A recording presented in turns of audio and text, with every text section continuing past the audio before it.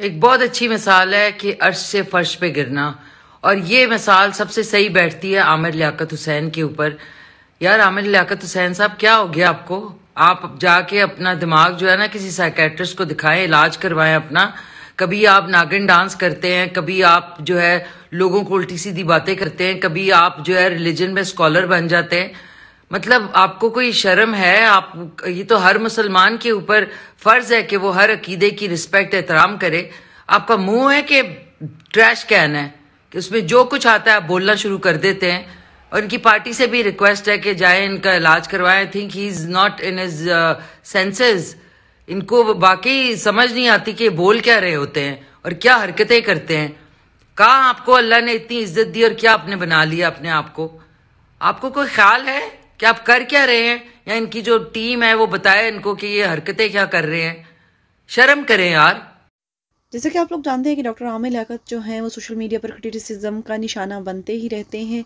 क्योंकि आए ना, आए दिन वो किसी ना किसी बारे में कुछ ना कोई स्टेटमेंट ऐसी दे देते हैं या फिर अपने शो में जब ख़वातीन को बुलाते हैं तो उनके साथ फ्लर्ट करते हुए उनसे अपनी इंसल्ट करवाते हैं। और इसी तरह से बहुत सी बातों पर, और आजकल जो मेन इनका तीसरी शादी का इशू बना हुआ है, उस वजह से इनको काफ़ी क्रिटिसाइज़ किया जा जा रहा है। आपने सुना स्टार्ट में वीडियो में कि मिशी खान ने कैसे इनकी इंसल्ट की इनको खरी खरी सुना दी।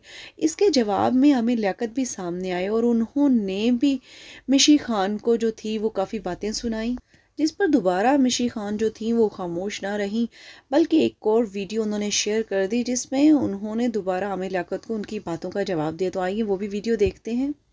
आमिर लियाकत हुसैन साहब ने गूगल पे जाके चार्ल्स डार्विन की थेरी ऑफ़ एवोल्यूशन को कॉपी पेस्ट किया और अपने इंस्टाग्राम पे लगा दिया।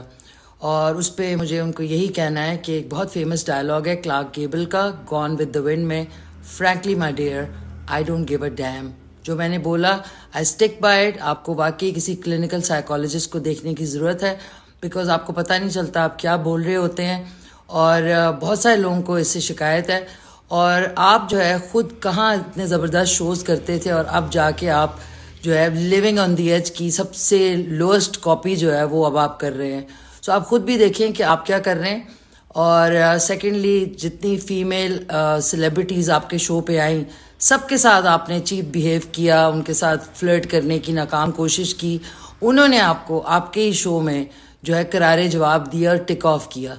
तो आप खुद भी देखें कि आप खुद क्या करते हैं बजाय इसके गूगल पे जी तो देखिए, आप लोगों ने दोनों वीडियोस मिशी खान की, जो उन्होंने लियाकत के बारे में कहीं आपकी क्या राय है, अपनी राय का इजहार ज़रूर कीजिएगा।